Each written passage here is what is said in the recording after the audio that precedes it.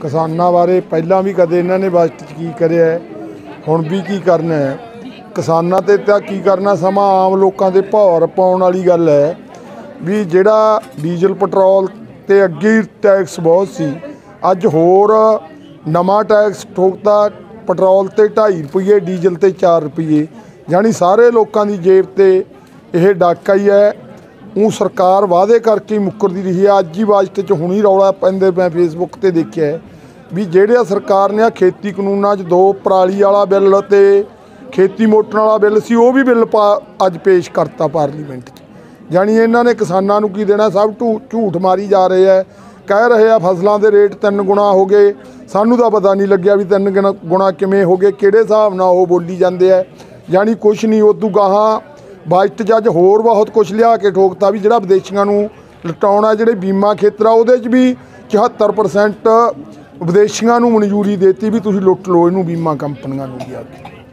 ਇਹ ਤਾਂ ਪਹਿਲਾਂ ਤੋਂ ਹੀ ਪਤਾ ਜੀ, ਆਪਾਂ ਨੂੰ ਕੋਈ ਨਵੀਂ ਗੱਲ ਨਹੀਂ ਕਿ ਸਰਕਾਰਾਂ ਵਾਸਤੇ ਕਿਸਾਨ ਮਜ਼ਦੂਰ ਮਾਰੂ ਸਰਕਾਰਾਂ ਇਹ ਕਾਰਪੋਰੇਟ ਘਰਾਣਿਆਂ ਦੇ ਮਤਲਬ ਇਹ ਹੈਗੇ ਹੈਗੇ ਯਾਰ ਤੇ ਆਮ ਕਿਸਾਨਾਂ ਮਜ਼ਦੂਰਾਂ ਨੂੰ ਮਾਰਨਾ ਚਾਹੁੰਦੇ ਆ ਇਹ ਕਾਰਪੋਰੇਟ ਘਰਾਣਿਆਂ ਦੇ ਮੁਤਾਬਕ। ਸਾਰਾ ਕੁਝ ਕਰਨਾ ਚਾਹੁੰਦੇ ਆ। ਇਹਨਾਂ ਤੋਂ ਇਹਨਾਂ ਤੋਂ ਕੀ ਆਸ ਰੱਖ ਸਕਦੇ ਜੀ ਅਸੀਂ? ਸਾਨੂੰ ਪਹਿਲਾਂ ਵੀ ਕੋਈ ਆਸ ਨਹੀਂ ਹੁਣ ਵੀ ਕੋਈ ਆਸ ਨਹੀਂ ਇਹਨਾਂ ਨੂੰ। ਬਿਲਕੁਲ ਨਹੀਂ ਜੀ। ਸਰਕਾਰ ਨੇ ਜਿੰਨਾ ਝੂਠ ਬੋਲਿਆ ਅੱਜ ਤੱਕ ਸਰਕਾਰ ਨੇ ਤਾਂ 15 ਲੱਖ ਰੁਪਇਆ ਵੀ ਕਿਹਾ ਸੀ ਦੇਵਾਂਗੇ ਅਸੀਂ ਇਕੱਲੇ ਇਕੱਲੇ ਨਾਗਰਿਕ ਨੂੰ। ਕੀ ਦਿੱਤਾ ਜੀ?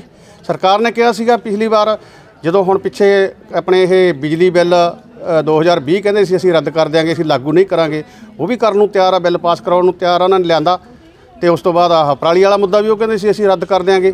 ਉਹ ਵੀ ਅਸੀਂ ਖਤਮ ਕਰ ਦਿਆਂਗੇ। ਉਹ ਵੀ ਨਹੀਂ ਕਰਿਆ ਉਹਨਾਂ ਨੇ। ਕਿੱਥੇ ਕਿੱਥੇ ਝੂਠ ਬੋਲੂਗੀ ਸਰਕਾਰ? ਕੀ ਅਸੀਂ ਯਕੀਨ ਕਰਾਂਗੇ? ਕੀ ਪਰਜਾ ਯਕੀਨ ਕਰੂ ਇਹਨਾਂ ਦੀ? ਸਰਕਾਰਾਂ ਦਾ ਜਿਹੜਾ ਪਿਛਲੇ ਲੰਬੇ ਸਮੇਂ ਤੋਂ ਖਾਸਾ ਗਾ ਉਹ ਲੋਕ ਵਿਰੋਧੀ ਤੇ ਕਿਸਾਨ ਵਿਰੋਧੀ ਤੇ ਕਿਰਤੀ ਵਿਰੋਧੀ ਰਿਹਾਗਾ ਤੇ ਅੱਜ ਦਾ ਵੀ ਜੋ ਇਹ ਬਜਟ ਸੇਵਾਦਾਰ ਵੀਰਾਂ ਨੂੰ ਸੀਗਾ ਬੇਨਤੀ ਆ ਜਿਹੜੇ ਅੱਜ ਗਲਾਸ ਦੇ ਬਜਟ ਦੇ ਵਿੱਚ ਵੀ ਇਹੀ ਆਸ ਸੀਗੀ ਵੀ ਕਿਸਾਨਾਂ ਪੱਖੀ ਜਾਂ ਲੋਕ ਪੱਖੀ ਇਸ ਬਜਟ ਦੇ ਵਿੱਚ ਕੋਈ ਆਸ ਦੀ ਕਿਰਨ ਨਹੀਂ ਜਾਗਣੀ। ਸੋ ਅਜਿਹਾ ਹੀ ਹੋਇਆ ਵੀ ਅੱਜ ਦੇ ਬਜਟ ਵਿੱਚ ਵੀ ਕੋਈ ਆਸ ਦੀ ਕਿਰਨ ਜਿਹੜੇ ਆਉਣ ਵਾਲੇ ਸਮੇਂ ਦੇ ਵਿੱਚ ਦਿਖਾਈ ਨਹੀਂ ਦਿੱਤੀ। ਕਿਉਂਕਿ ਪਿਛਲਾ ਲੰਮਾ ਤਜਰਬਾ ਗਾ ਵੀ ਜੋ ਸਰਕਾਰਾਂ ਕਹਿੰਦੀਆਂ ਗੀਆਂ ਉਹਨੂੰ ਚੋਣ ਜੁਮਲਾ ਮਾਰ ਕੇ ਉਹਨੂੰ ਹਰ ਵਾਰੀ ਨਕਾਰ ਦਿੰਦੀਆਂ ਗੀਆਂ ਪਿਛਲੇ ਲੰਮੇ ਸਮੇਂ ਤੋਂ ਇਹ ਤਜਰਬਾ ਗਾ ਆਮ ਲੋਕਾਂ ਦਾ। ਇਸ ਕਰਕੇ ਜੋ ਇਹ ਐਮਐਸਪੀ ਜਾਂ ਹੋਰ ਲਾਗੂ ਕਰਨ ਦੀ ਗੱਲਾਂ ਕਹਿੰਦੀਆਂ ਗੀਆਂ ਪਰ ਉਹਦੇ ਤੇ ਸਾਡਾ ਕੋਈ ਇਤਬਾਰ ਨਹੀਂ।